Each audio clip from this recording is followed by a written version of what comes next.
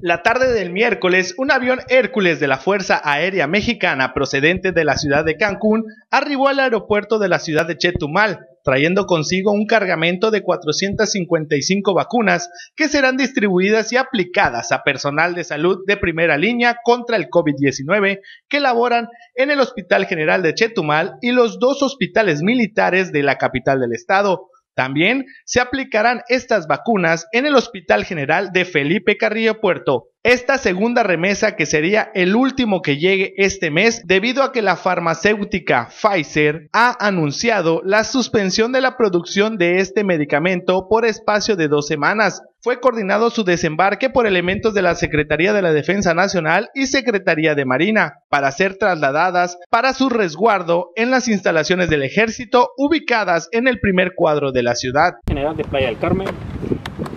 Hospital General de Cancún, que es el Jesús Cumate Rodríguez, y el Hospital General de Zona número 3. Total, por ambas entregas, 975 dosis.